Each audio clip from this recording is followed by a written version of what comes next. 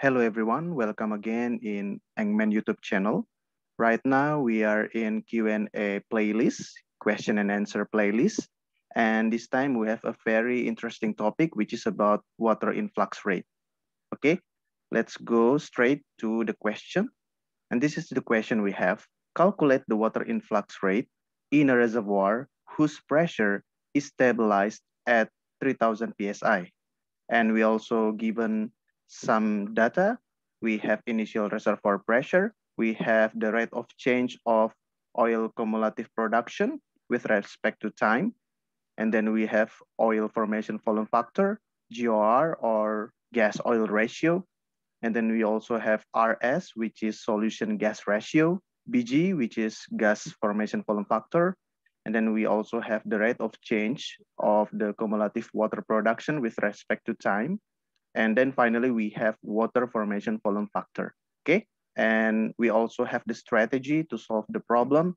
First, we need to realize that this is a material balance issue, and we need to also divine that the water influx rate equals to the summation of oil flow rate, free gas flow rate, and water production flow rate, all right? And then this is the formula. Water influx rate is the summation of oil flow rate, free gas flow rate, and water production flow rate, okay?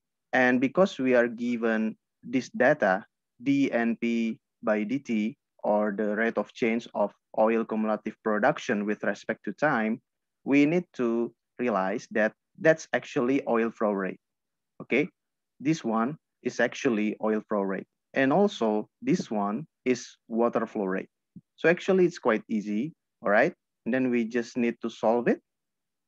So we have the balance here, we have the formula, and then we need to calculate it, okay?